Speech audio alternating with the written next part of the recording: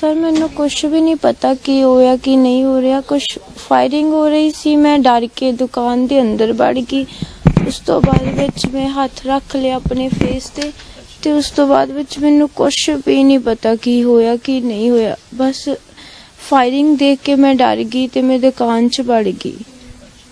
ਤੇ ਕਿੱਦਾਂ ਫਿਰ ਉਹ ਕੁਝ ਪਤਾ ਲੱਗਿਆ ਕੌਣ ਕਰ ਰਿਹਾ ਸੀ? ਮਤਲਬ ਕੁਝ ਨਹੀਂ ਪਤਾ ਸਰ ਕੁ ਉੱਥੇ ਗੋਲੀਆਂ ਚੱਲੀਆਂ? ਸਰ ਮੈਨੂੰ ਕੁਝ ਵੀ ਨਹੀਂ ਪਤਾ। ਇਹ ਵੀ ਨਹੀਂ ਪਤਾ ਵੀ ਕਿਹਨਾਂ ਨੇ ਚਲਾਈਆਂ। ਨਹੀਂ ਸਰ। ਕਿੰਨੇ ਜਣੇ ਸੀਗੇ?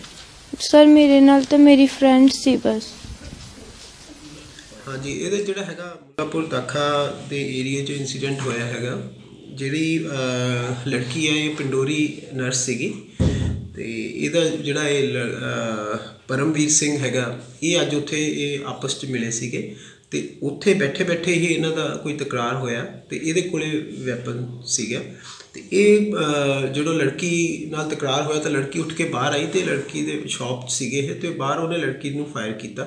ਉਹ ਫਾਇਰ ਮਿਸ ਹੋ ਗਿਆ। ਉਸ ਤੋਂ ਬਾਅਦ ਲੜਕੀ ਭੱਜੀ ਭੱਜ ਕੇ ਸ਼ਾਪ 'ਚ ਐਂਟਰ ਕੀਤਾ। ਇਹ ਵੀ ਪਿੱਛੇ ਹੀ ਗਿਆ।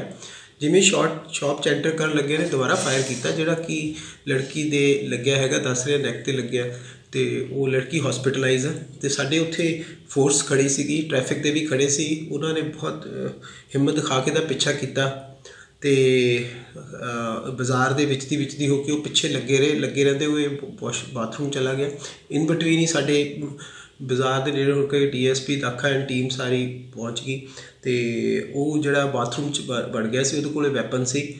ਪਰ ਬੜੇ ਤਰੀਕੇ ਨਾਲ ਪ੍ਰੋਫੈਸ਼ਨਲੀ ਸਾਡੀ ਪੁਲਿਸ ਨੇ ਹੈਂਡਲ ਕਰਕੇ ਦਰਵਾਜ਼ਾ ਤੋੜ ਕੇ ਉਹਨੂੰ ਬਾਹਰ ਕੱਢ ਕੇ ਫੜ ਲਿਆ।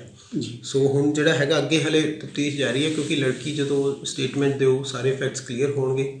ਤੇ ਲੜਕੇ ਦੇ ਵੀ ਹੱਥ ਤੇ ਸ਼ੀਸ਼ਾ ਲੱਗਿਆ ਹੋਇਆ ਉਹਨੂੰ ਭੇਜਿਆ ਤੇ ਜੋ ਵੀ ਅੱਗੇ ਹਾਲਾਤ ਹੋਣਗੇ ਤੁਹਾਨੂੰ ਦੱਸਿਆ ਜਾਊਗਾ ਸਰ ਪਤਾ ਨਹੀਂ ਲੱਗਾ ਵੀ ਕਿਉਂ ਮਾਰੀ ਗੋਲੀ ਜਾਂ ਕਿਸ ਤਰ੍ਹਾਂ ਇਹ ਉਹਨਾਂ ਦਾ ਬਸ ਇਹੀ ਇੰਨਾ ਹੀ ਹਲੇ ਪਤਾ ਲੱਗਿਆ ਕਿ ਆਪਸ 'ਚ ਤਕਰਾਰ ਹੋਇਆ due to their Affair. Differences ਹਾਂਜੀ Okay.